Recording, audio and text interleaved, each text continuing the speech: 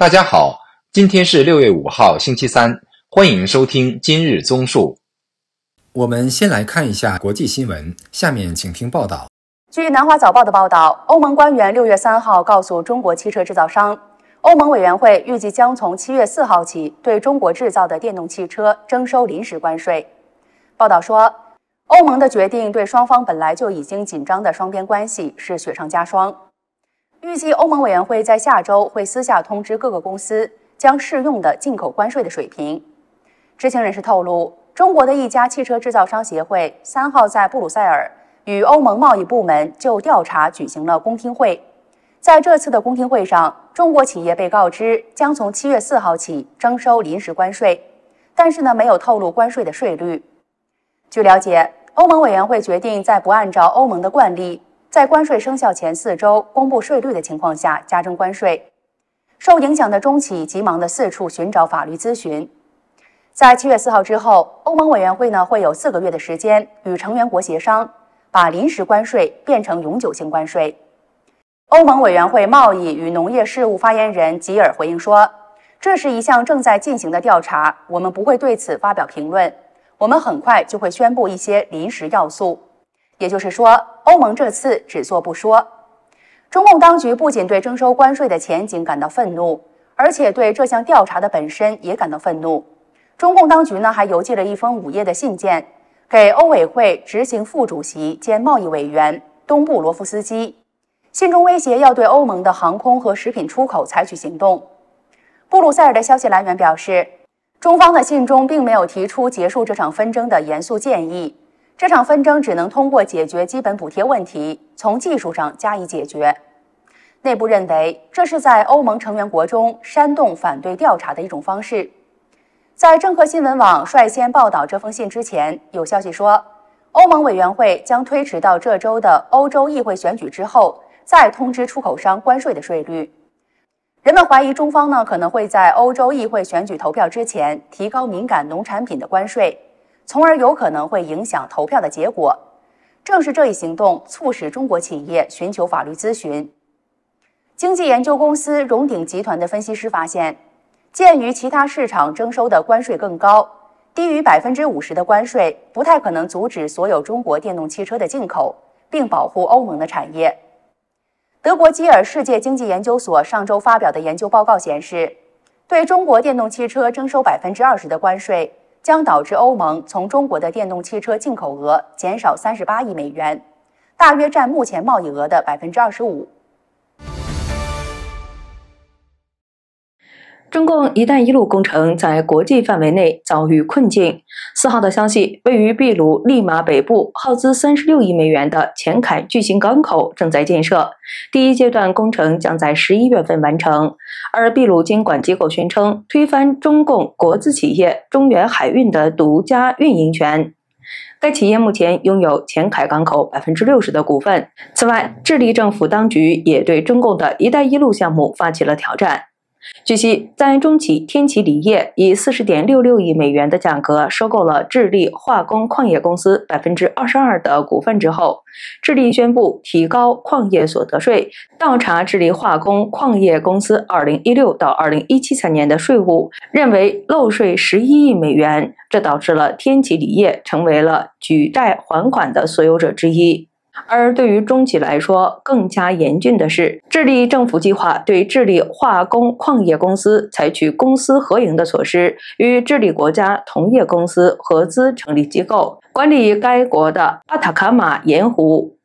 新规让智利政府企业拥有半数以上的绝对控制权，并且在明年开始拿走合同工资百分之七十的利润。二零三一年之后，则会增加到百分之八十五。这导致了天齐锂业的资本遭到了严重的稀释，只能坐吃哑巴亏。面对中企可能会被排除在外的局面，法广报道引述分析认为。新的现象反常出现的智利和秘鲁，对中资企业变得日益警惕，并且进行了排挤。未来中企在南美的投资环境可能会变得更加的复杂。不过，虽然中企被排除在外，其设施的价值仍然并不贬值。即使秘鲁考虑移除中企的独家经营权，前海港口仍然在对该国证券交易所产生积极影响，吸引了大量的散户与机构投资收入。也是在同时，“一带一路”的失败预计将进一步的损害中国经济。拜登前不久在接受《时代》杂志专访时表示，他对中国已经疲软的经济很不看好。拜登说：“此前每个人都谈论中国有多强大，但事实上，中国的经济正处于崩溃的边缘。”此外，他还对中国经济蓬勃发展的设计嗤之以鼻。在访谈当中，拜登抨击中国的一带一路没有能够取得真正的突破，并且暗示说，非洲国家的债务危机与新建浪生反映出一带一路的失败，并不能够帮助中共在国际范围之内取得突破，并且挑战美国和俄国的影响力。我们再来看一下两岸新闻，下面请听报道。六月四号，大陆社交媒体平台热搜榜出现了多家银行开始招收催收人才的话题。总体经济亮起红灯，造成信用成本上升，银行端纷纷开始加强催收的能力。民众担忧此类招聘等于是在招打手。据深蓝财经报道，三湘银行五月三十一号公告称，因为财务发展需要。面向全社会招聘高级催收管理人才，任职要求是大学本科以及以上的学历，法律、金融专业背景，有五年及以上催收管理工作经验。从新冠肺炎疫情爆发以来，许多大陆民众失业、降薪、积欠卡债和贷款问题频发，金融机构开始扩大催款，但是中国式的催款方式让民众大喊吃不消。据青年日报报道，中国2020年以来拖欠消费贷款的应收账款总额已经高达人民币2.8兆元，其中半数是卡债，其余则来自非银行贷款机构。由于经济低迷，欠款规模持续的在扩大。金融机构催缴方式五花八门，包括催款电话打不停，有人在十分钟之内接到七到八通电话；有人请求延期偿还被拒绝，并且被告知会打电话发讯息给他的家人同事，直至还清贷款；有人信用卡逾期未缴，连他的父母、祖父母都要接到电话，还威胁会有人登门讨债。直到五月十五号，中国互联网金融协会发布《互联网金融个人网络消费信贷贷后催收风控指引》，要求金融机构和协力厂商催收机构加强催收组织管理，明确具体负责催收业务的管理部门。专家称，这可迫使金融机构对催收机构进行全面的筛选和把控。但是民众表示质疑，纷纷表示几句话就有可能逼得人家家破人亡，钱银行赚了，坏事你做了，少做这种损阴德的工作吧。那些跳河的、跳楼的，就是这些人做的吧？搞得别人家破人亡的工作，这就是要公然制造社会动荡啊！中国银行坏账之多。中共金融监管总局五月三十一号数据显示，二零二三年中国商业银行未偿还不良贷款攀升至创纪录的三点二三万亿元。除了三湘银行之外，近半个月来，光大银行、微众银行等多家金融机构都在拟招聘高级催收相关人才。网民对此表示：“现在招个打手都需要本科了吗？这个社会也太卷了吧！没有九八五，连打手的资格都没有。现代的打手，高智商、高学历，动起手来才能保证不会进去。跟罗翔老师的说法一样，张三要是懂法，那么就知道如何规避犯罪。”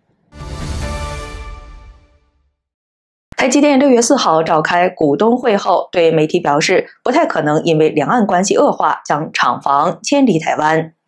据自由亚洲的报道，魏哲嘉在四号股东会上接任台积电董事长。会后，他在记者会上被问到，如果两岸冲突，台积电客户是否会要求将产能移往国外？魏哲嘉回答说：“台海局势不稳定，确实是供应链的一个考虑因素。不过，台湾的产能目前占台积电总产能的八九成，要将生产线完全移出台湾是不可能的。”对于到美国、日本、德国扩产，魏哲家说：“台积电投资扩产还是以台湾优先，第一优先是台湾，第二优先是台湾，第三优先选择地也是台湾，最先进制程一定从台湾开始。”美国虽然也规划二纳米的制程，但是先在台湾站稳脚步，才会往外扩散。路透社的报道说，尽管两岸关系紧张，但是本周的台北国际电脑展上，除了记者提问之外，几乎没有人关注战争以及战争可能威胁晶片供应链的话题。台湾立基电董事长黄崇仁也表示，没有人担心战争这个问题。黄崇仁告诉媒体：“我认为，当然总会有军事活动或者是摊牌，但是台湾对人工智慧来说是如此的重要，即使是中国人也知道这一点。”此外，鸿海集团董事长刘扬伟四号宣布，他和英伟达执行长黄仁勋就携手在高雄建先进云计算力中心达成一致。高雄先进云计算力中心将以超级晶片 GB 二零零伺服器为核心，总计共六十四柜，四千六百零八颗 CPU，预计在二零二六年完工。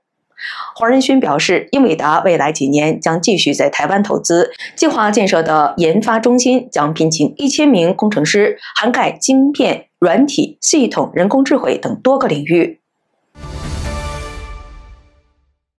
轰动！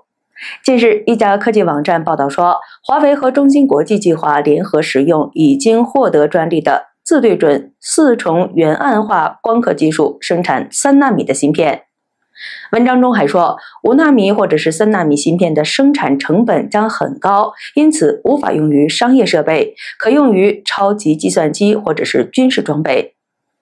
但是，一些科技专栏作家表示，他们可能需要几年的时间才能够实现这个目标，而且等到这两家公司成功时，全球市场都已经使用一点四纳米的芯片了。台湾台积电早在二零二二年就已经成功的大量的量产三纳米制程芯片，目前正朝向一点四纳米制程芯片迈进。不过，这些专家还是太高估华为了，因为在五月三十号，华为常务董事、华为云 CEO 张平安在出席中国移动算力大会时坦诚：“我们肯定是得不到三纳米，也肯定是得不到五纳米，我们能够解决七纳米就已经非常好了。”